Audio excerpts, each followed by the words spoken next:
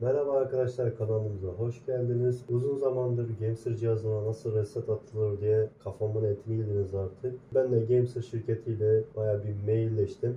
Bu cihaza reset atılamayacağını ama fabrika ayarlarına nasıl dönüleceği hakkında birkaç bilgi verdiler. E ben de bu bilgiyi sizinle paylaşmak istedim.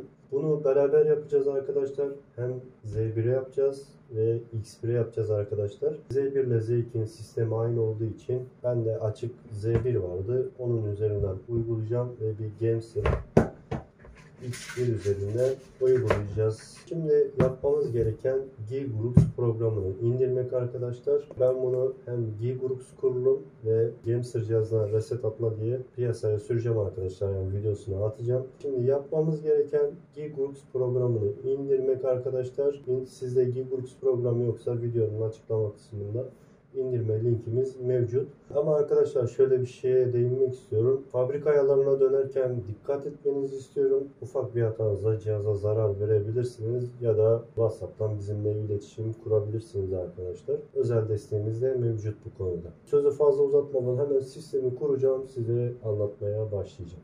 Şimdi arkadaşlar yapmamız gereken tabletimizin geliştirici seçeneklerini açmak arkadaşlar. Ayarlara girdik. Şuradan geliş seçeneklerini ben kapatayım. Beraber açalım istiyorum arkadaşlar. Çünkü her şeyi beraber yapalım.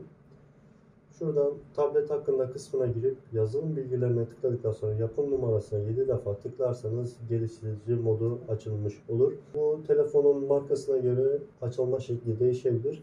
Bunun pratik çözümü ise Google'a örnekleyeyim. Huawei geliştirici seçenekleri açma dediğinizde bulabilirsiniz adım adım. Geliştirici seçeneklerini açtıktan sonra hemen şuradan USB hata ekranımızı açtık.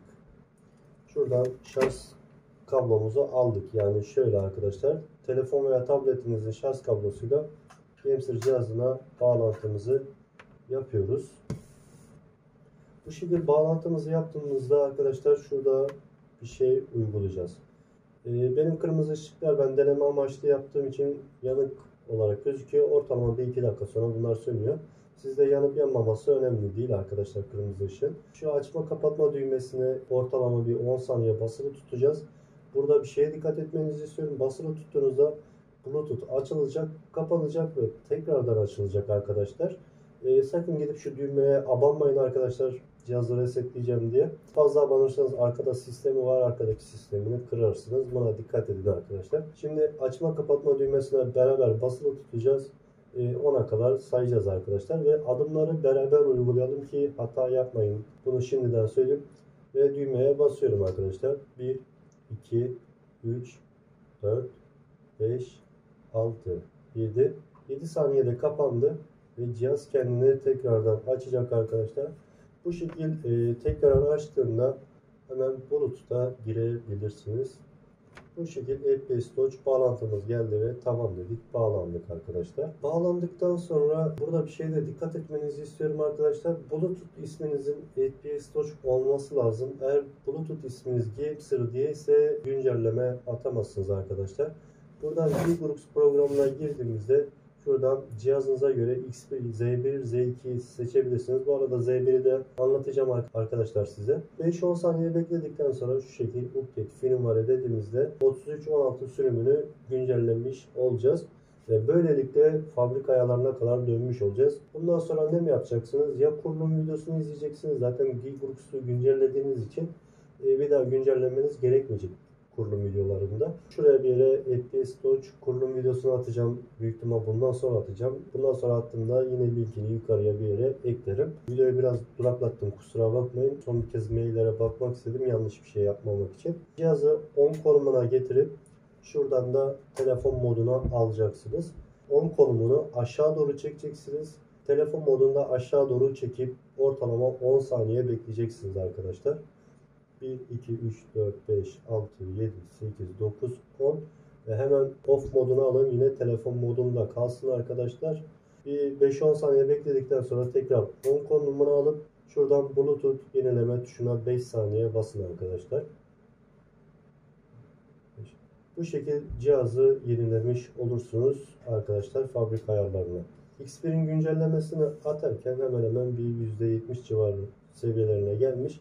E, lütfen ikinci el cihaz aldığınızda Gearbox'unuzu güncelleyin arkadaşlar. Gearbox neden de önemli?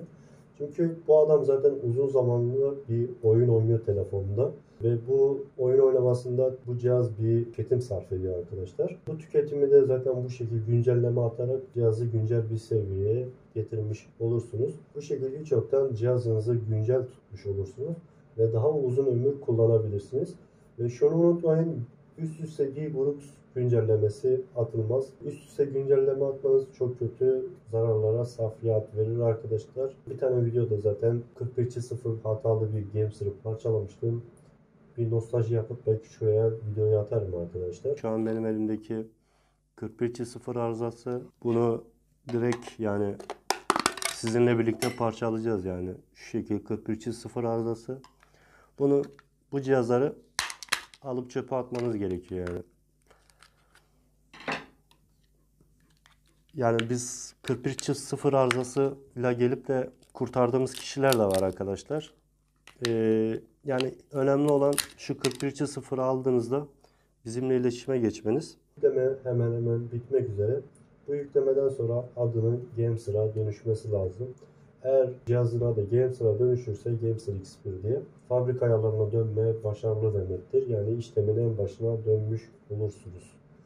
Yükleme zaten %95 oldu. Şöyle bir şey göstereyim. E, yükleme bittiğinde cihazın ışığı sönmüş olması lazım arkadaşlar. Eğer cihazınız sönmüyorsa başka bir telefonda deneyin. Yine aynı şekilde sönmüyorsa cihazınızda bir sıkıntı vardır. Yükleme bitti arkadaşlar ve Bluetooth kendini kapatacak. E, Bluetooth kendini kapattıktan sonra siz de Bluetooth'u kapatıp açmanız lazım. Yükleme bittikten sonra şuradan Bluetooth'umu kapattım ve tekrar açtım arkadaşlar. E, açtığımda e, cihazınızlar otomatik açılmadıysa düğmeye bir kere basmanız yeterlidir. Aynı şekilde yine açılmıyorsa ortalama bir 10-15 defa seri şekilde tıklarsanız açılacaktır. E, Gamesir X1 cihazına ve cihaz bağlandı arkadaşlar. Bu videoda bu kadardı. Yani Gamesir cihazının fabrika ayarlarına geri döndük. Yani kısacası işleminizin en başına döndünüz. Yani fabrika çıkışının en başına geldiniz arkadaşlar. Bu video bu kadar. Kendinize iyi bakın. Sağlıcakla kalın.